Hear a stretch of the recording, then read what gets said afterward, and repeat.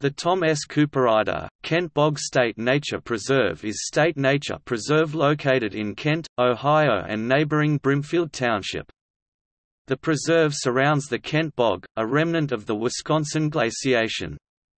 It is a true bog with acidic waters and unique environmental conditions have enabled it to survive. The bog contains the largest stand of tamarack trees in the state of Ohio,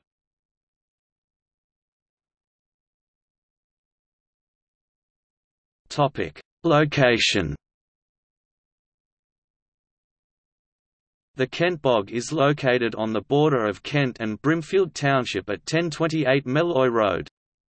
There is parking at the beginning of the half-mile boardwalk. The boardwalk trail loops around the bog, ending back at the parking lot. Along the trail there are educational signs explaining the local flora and fauna as well as the geological founding of the bog.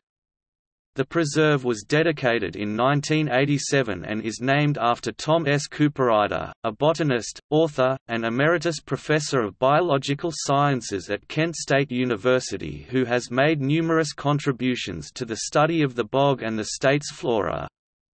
His 2010 book, Botanical Essays from Kent, discusses natural history of the area and focuses mainly on the Kent bog.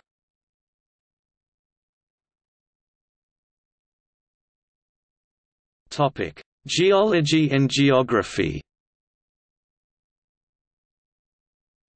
The bog was formed during the retreat of the Wisconsin Glacier. A chunk of glacial ice broke off and was buried in sediment and glacial till from the glacial outwash.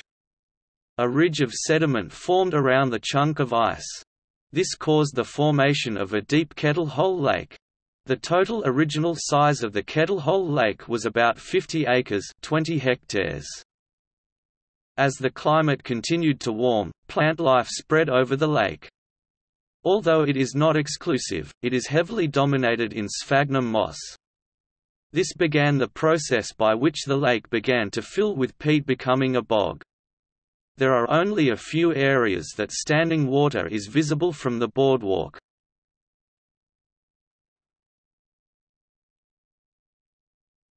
Topic: Flora and fauna.